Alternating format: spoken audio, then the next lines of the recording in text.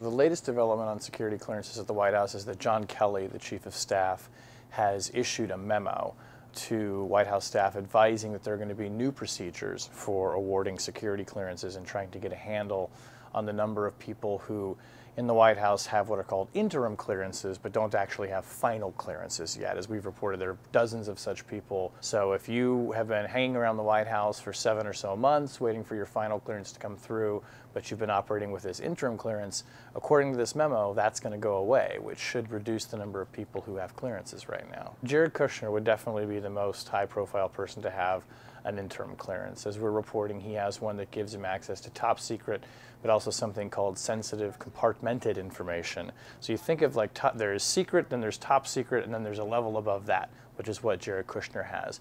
And he can get accesses to things like the president's daily intelligence briefing and other information on a case by case basis. It's really unusual for a senior White House official to have that high of a temporary or interim clearance.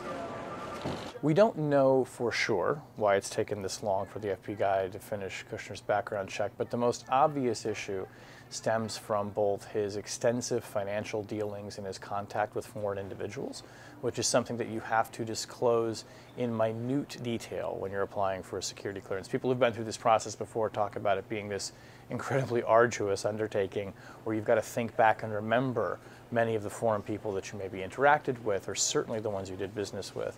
Jared Kushner has not fully disclosed all of that information when he initially filed a security application, uh, clearance application. He didn't disclose all of these foreign contacts, and he's amended or updated that application three different times.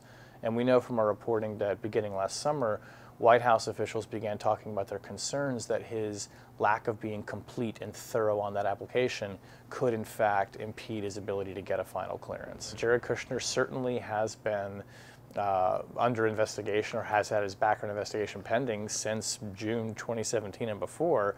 These new rules would say that Jared Kushner's interim clearance is going to be revoked uh, a week from Friday. So we'll have to wait and see if that happens.